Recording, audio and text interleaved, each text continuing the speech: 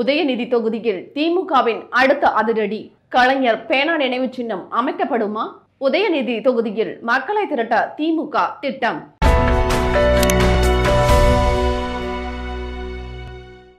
தமிழகத்தில் சமத்துவம் சமூக நீதிக்காக போராடிய திராவிட இயக்க தலைவர்களுக்கு கலைநயமிக்க நினைவிடங்களும் சிலைகளும் நினைவு சின்னங்களும் அமைக்கப்பட்டுள்ளன. அந்த வகையில் கடந்த இரண்டாயிரத்தி பதினெட்டாம் ஆண்டு ஆகஸ்ட் ஏழாம் தேதி சென்னையில் மறைந்த திமுக தலைவரும் முன்னாள் முதல்வருமான கலைஞர் கருணாநிதிக்கு சென்னை மெரினா கடற்கரையில் உள்ள அறிஞர் அண்ணா நினைவிட வளாகத்தில் கலைஞர் கருணாநிதிக்கு இரண்டு புள்ளி இரண்டு மூன்று ஏக்கர் பரப்பளவில் அரசு சார்பில் நினைவிடம் கட்டப்பட்டு வருகிறது. இந்த பணிகள் ஒருபுறம் நடந்து கொண்டிருந்தாலும் நடுக்கடலிலும் எண்பத்தி ஒரு கோடி ரூபாய் செலவில் நூற்றி முப்பத்து நான்கு அடி உயரத்திற்கு பிரம்மாண்ட பேனா நினைவு சின்னம் அமைக்க தமிழக அரசு திட்டமிட்டுள்ளது. இதில் பேனா பீடம் கடலுக்கு மேலே பாதசாரி பாதை கடற்கரை மற்றும் நிலத்திற்கு மேலே அமைய உள்ள பின்னல் பாலம் கடற்கரைக்கு மேலே பாதசாரி பாதை நினைவிடத்திலிருந்து பாலம் வரை நடைபாதை என மொத்தம் எட்டாயிரத்து ஐநூற்று ஐம்பத்தி ஒரு சதுர மீட்டர் பரப்பளவில் அமைக்கப்பட உள்ளது. இந்த பிரம்மாண்ட நினைவு சின்னத்துக்கு முத்தமிழ் அறிஞர் டாக்டர் கலைஞர் பேனா நினைவு சின்னம் என்று பெயரிடப்பட்டுள்ளது.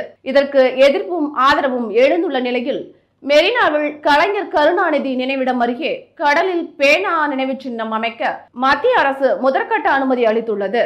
அதன்படி சுற்றுச்சூழல் பாதிப்பு மதிப்பீடு சுற்றுச்சூழல் மேலாண்மை மதிப்பீட்டு அறிக்கையானது கடல்சார் ஆய்வுகள் உட்பட துறைமுகம் தொடர்பான கட்டமைப்பு விதிமுறைகளை பின்பற்ற வேண்டும் என தெரிவிக்கப்பட்டுள்ளது.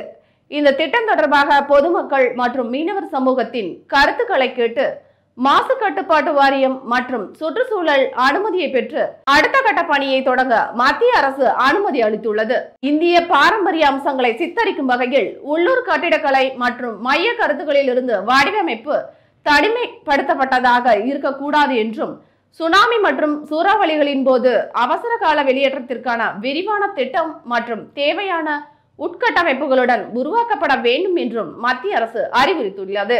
மத்திய அரசின் முதற்கட்ட அனுமதி கிடைத்ததை தொடர்ந்து அடுத்த கட்டமாக பொதுமக்களின் கருத்தை கேட்க தமிழக அரசு முடிவு செய்துள்ளது. தமிழ்நாடு மாசு கட்டுப்பாட்டு வாரியம் சார்பில் கருத்து கேட்பு கூட்டம் சென்னை கலைவாணர் அரங்கில் வருகிற ஜனவரி முப்பத்தி ஒன்றாம் தேதி அன்று காலை பத்து முப்பது மணிக்கு நடைபெறும் என அறிவிக்கப்பட்டுள்ளது.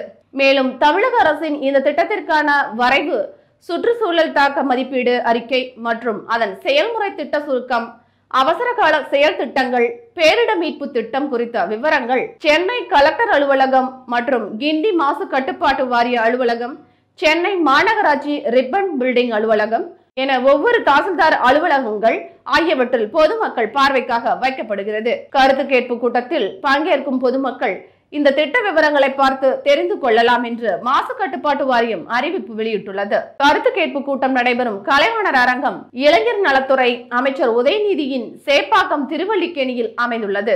இதனால் கருத்து கேட்பு நடைபெறும் நாள் அன்று கலைவாணர் அரங்கம் நிரம்பி வழியும் அளவுக்கு பெருந்திரளான மக்களை திரட்டி ஆதரவு தெரிவிக்க ஏற்பாடு செய்ய திட்டமிட்டுள்ளது.